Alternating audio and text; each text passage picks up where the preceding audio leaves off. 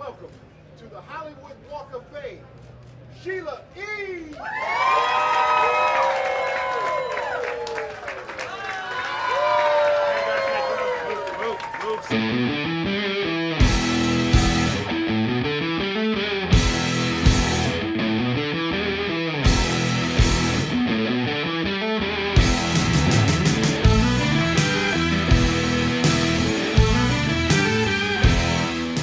You know, you don't realize that you're going to get honored in this way. I don't do it to, to win awards, but this is such a great honor to be able to be here, cemented in Hollywood, on Hollywood Boulevard. It's amazing.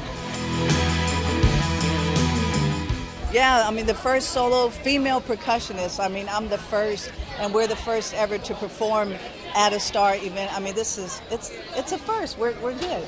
Yeah.